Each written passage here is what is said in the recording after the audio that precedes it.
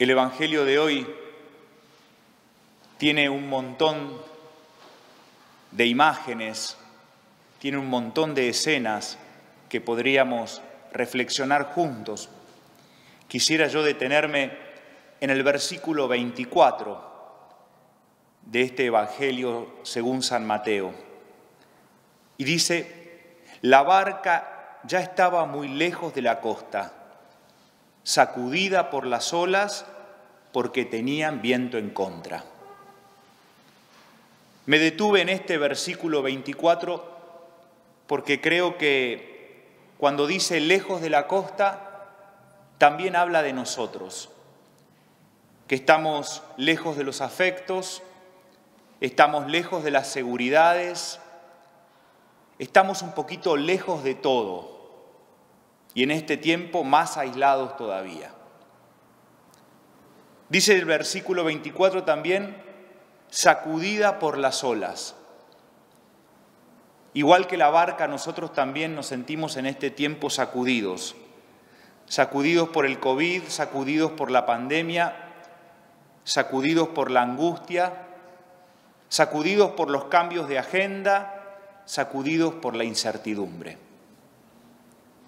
Y dice también el versículo 24 que había viento en contra, como que vivimos un tiempo que parece que todo está en contra nuestro, todo nos sale mal. El versículo 30 más adelante va a decir la violencia del viento. Podríamos decir, bueno, ya no nos falta nada lejos de la costa, sacudidos por las olas, viento violento en contra, está todo perdido. Que el último cierre apague la luz y cierre la puerta. Sin embargo, el versículo siguiente, el 25, dice, a la madrugada Jesús fue hacia ellos caminando sobre el mar. A la madrugada Jesús fue hacia ellos caminando sobre el mar. Una vez más, quiero recordar entonces la expresión de un historiador británico que dice, en ningún momento hay más oscuridad que en el segundo antes de amanecer. En ningún momento hay más oscuridad que en el segundo antes de amanecer. Con lo cual, en medio de la oscuridad de esa tormenta, parece que en la madrugada llega Jesús, luz del mundo.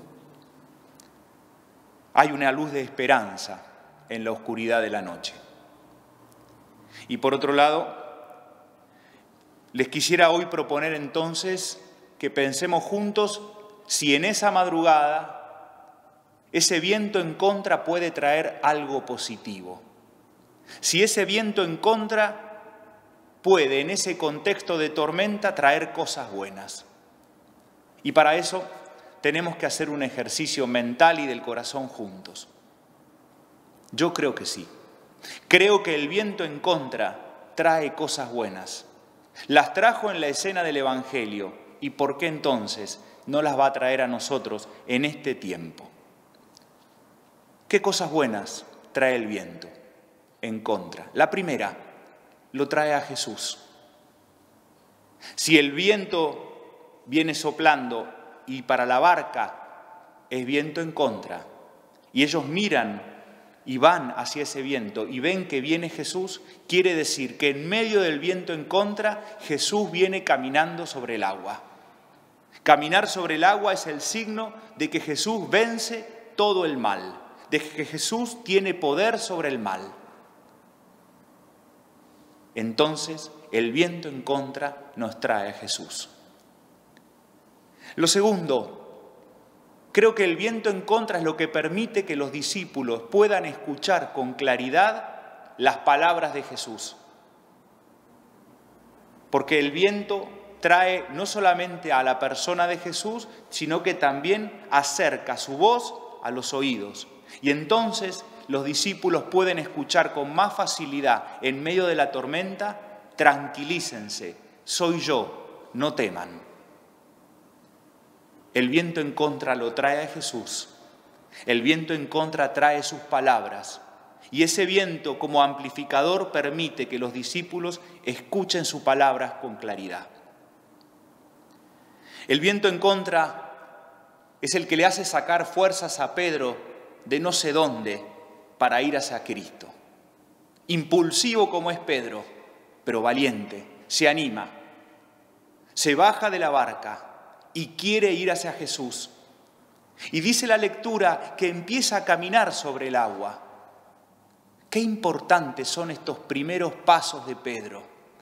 Todos recordamos, porque nos sale casi instintivamente pensar que después Pedro se va a hundir y prestar atención a cuando Pedro se hunde. Pero qué importante sería hoy valorar estos primeros pasos de Pedro cuando se baja de la barca, estos primeros pasos en su camino de fe, estos primeros pasos hacia Jesús, como nuestros primeros pasos. ¿Por qué prestar tanta atención a la caída? podemos pensar con este viento en contra en la fortaleza de Pedro, que se anima con audacia, con parresía y empieza a caminar hacia el Señor. Y es en el viento en contra en el que Pedro madura su fe. Pedro crece en su fe en medio de esa tormenta. Porque comienza diciendo, Señor, si eres tú, mándame caminar sobre el agua. Si eres tú, como que todavía duda, pero después, cuando se está hundiendo, ya no duda más. Y dice, Señor, sálvame.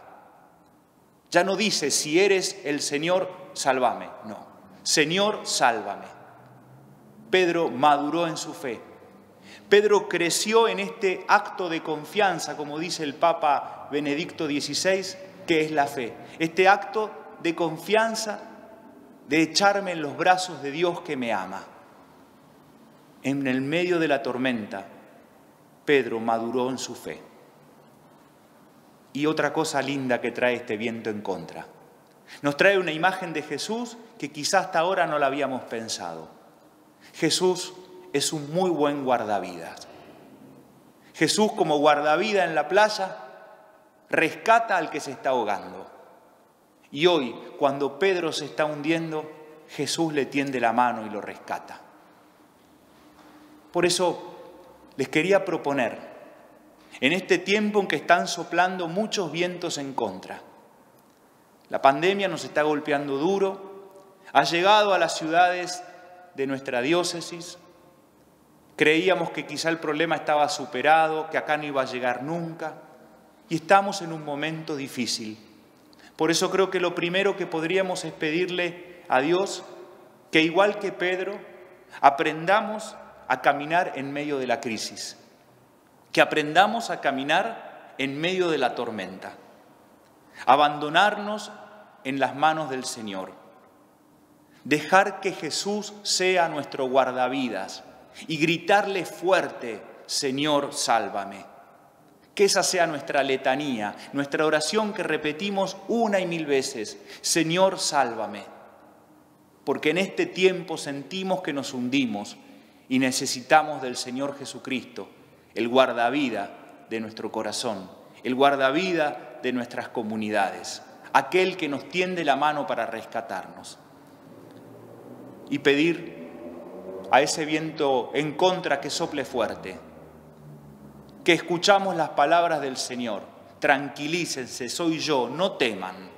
Y entonces no queremos tenerle miedo a ese viento. Y le pedimos que ventile, que ventile nuestro corazón de tantos rencores, que ventile nuestro corazón de odios pasados, porque en este tiempo lo que más valoramos son los afectos.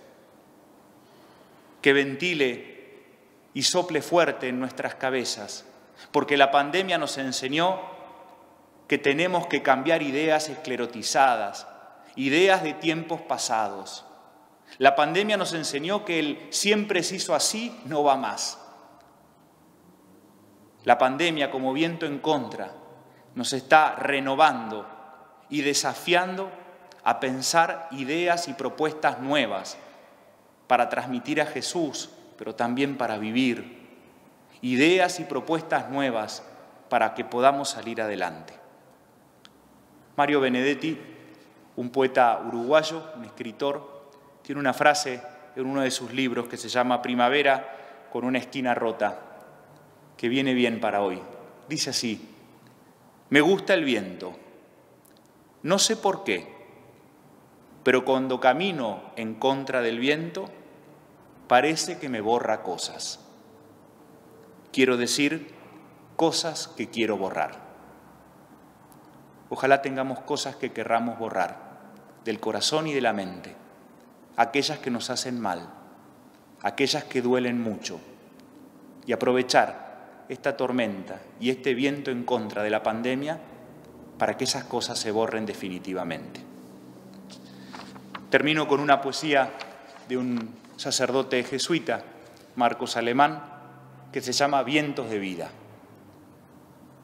Toda la vida que vos nos das es para nosotros y no es nuestra. Al vivirla así, nos apropiamos de ella. Es para caminar siempre sobre agua, con tu cercana cercanía por un lado y nuestros miedos y dudas por el otro.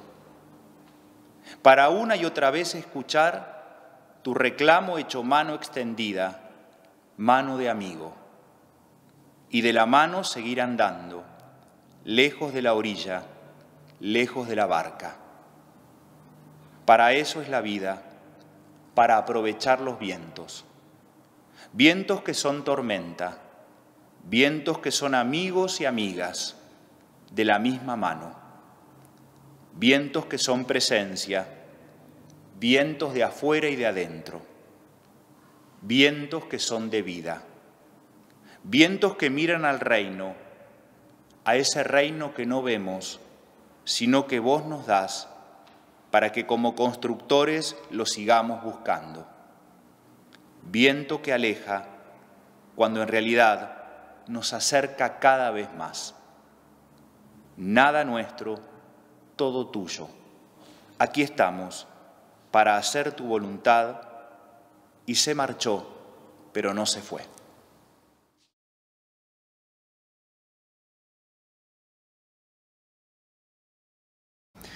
Los textos que quiero compartirles y dejarles para la semana.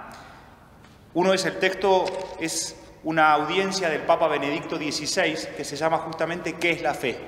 El Papa Benedicto XVI allí nos dice de una manera muy linda, la fe es un confiarse y entregarse a un tú, que es Dios, que me da una certeza distinta. Es una certeza liberadora y tranquilizadora de la fe. Qué lindo entonces que puedan compartirlo, vamos a subir a nuestras redes este documento del Papa Benedicto, un texto que no es un texto largo, es un texto breve, de octubre del 2012, sobre la fe, esa fe que Pedro en momentos de crisis pudo madurar.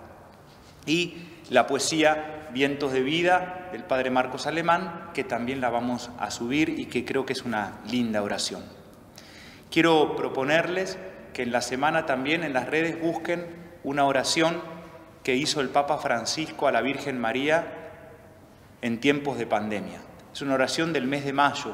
Nosotros la vamos a subir a las redes. Me gustaría rezarla con todos ustedes, todos juntos, la semana que viene, el domingo próximo.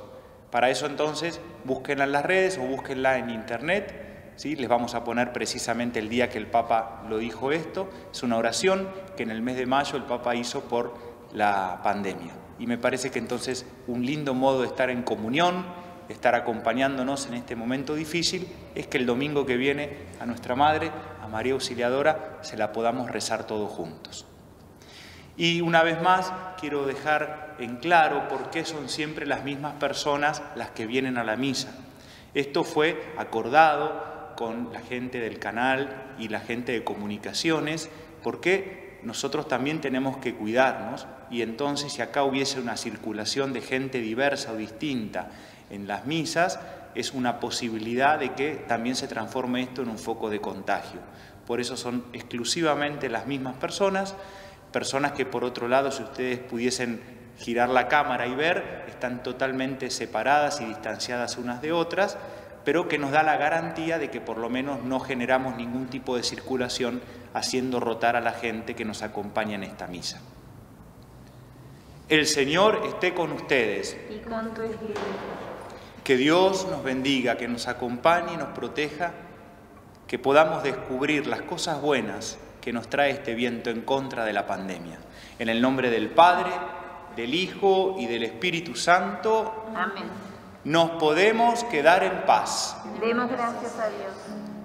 Muchas gracias, buen domingo y buen almuerzo para todos.